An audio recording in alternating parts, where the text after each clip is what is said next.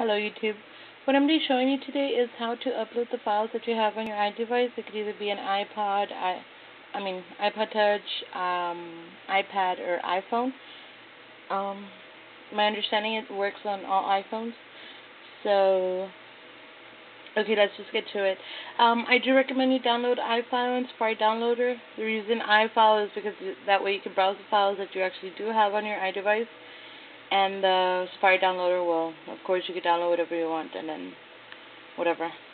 So, um, let's just start. We're going to download an application um, called iShare. Just go to your search, click on the search box, type in i, I'm sorry, iShare. And it's going to be this one right here. And instead of modify, it'll be install. And that's it. Once you download this let's just go to the application itself. So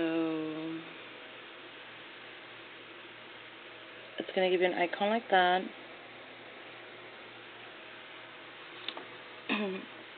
And you do have to create an account but basically all you have to do is type in your email address verify your email address type in your password and verify password and then um, you'll create your own account. Um, before I go further, all the files that you actually do create a link link for are going to be on your My account. All you have to do is click on Browse Files and stuff like that.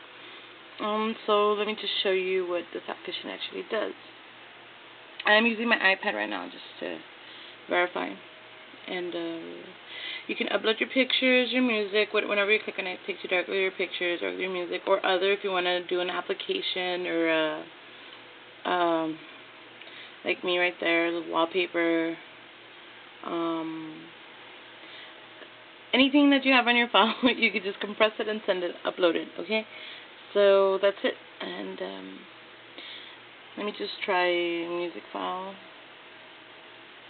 Well, well, just keep in mind that the longer, the larger the the file, the longer it's gonna take. So I know how Julimo uh, Never Think by Rob Patterson. Estimated time or length, whatever, it's 3.94 megabytes, so With this one, you don't have to do anything. Um, you just click download. But, let me show you what occurs when you do actually a regular normal file. Because um, it gives you so much more options. Mm, you can share with ringtones, wallpapers. Let me just do a wallpaper again. So let's do the 101 underscore iPad. The reason I'm doing this one is because I already tried to, uh, the second video I'm recording. I showed the third one, and um, uh, some like it just didn't come out right. So, anyways, you it gives you the option to name your file. Uh, you write a description. You could do it password protected. Um, email it directly. If not, you just click start. You just click start, and as you can see, it's already doing it right here. It gives you the hmm, estimated remaining it does go pretty fast. If it's a large file, you could just uh, use background, leave it on the background and stuff like that. So once it's done, it provides you with a link right here. You just click on the link. It gives you the option to send by email or copy to clipboard, pasteboard. Sorry. Um, let me just copy to pasteboard, and let me show you on Safari. So we go to Safari, right on the top, see? and I'm just going to go ahead and paste it. Just click go. This is what the people who get your link are going to see and how they're going to be able to get it. I know that on the iPad, if it's picture, it'll just open it up and you just um, save picture. If it's a file, you have um, um, Safari Downloader or iFile. Well, you can pick wherever you want to, or unless it's a like a PDF file, then it'll, when they're downloading it, it'll give them the option whether they want to download it to um, iPages, Goodreader, stuff like that. So then anyways, um, as you can see, that's 101 underscore iPad, whatever.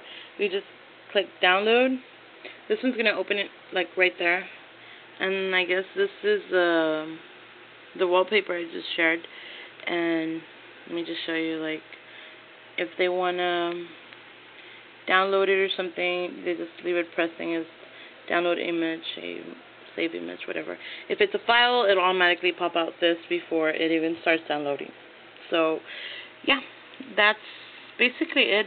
I'm doing this video because I know a lot of you were messaging me regarding how to do this. I'm sorry that I haven't gotten to it sooner. It's just that I have, um, I'm like maybe a year away from graduating. I just need this year to finish, and then I, I'll graduate. So I'm hitting it hardcore. So, but thank you guys very much, and uh, that's it. So don't forget to rate, comment, subscribe, and you all have a good day.